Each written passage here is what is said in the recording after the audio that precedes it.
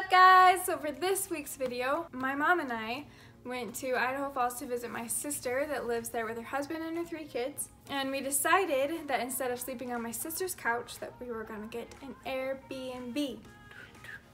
And this Airbnb is a little bit different, but I'll tell you about that after I show you the fun things we did in Idaho Falls. The first place we went to was called the Japanese Gardens. Honestly, if you didn't know where it was, you would probably never ever find it because it's just along a busy road and not a lot of people know it's there.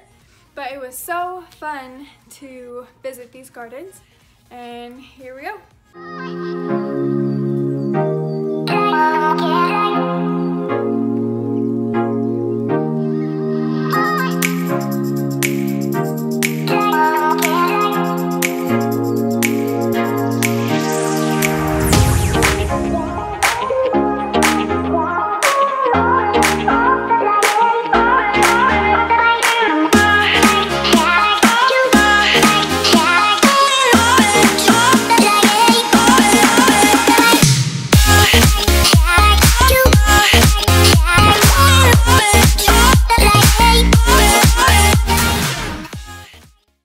Second thing we were able to do was go to the LDS temple.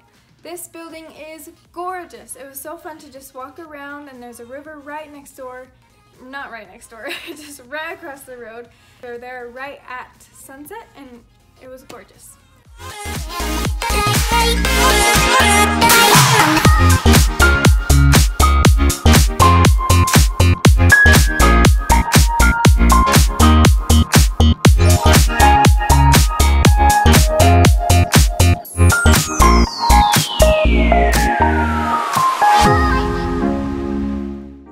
One place that we went to for breakfast was called O'Brady's. I forgot to show you how yummy my cinnamon roll was because my stomach thinks before my brain does.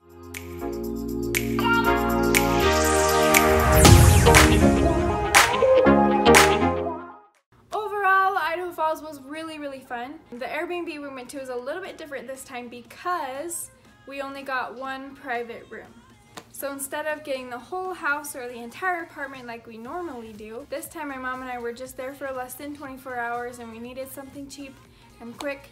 So we booked this Airbnb. It was just a private room and a private bathroom and there was other people in the house while we were there, but honestly everyone was super nice and we didn't have any problems with them. They have a really, really nice backyard with a jacuzzi. They did have complimentary coffee. I didn't drink it, but that was super nice of them to do.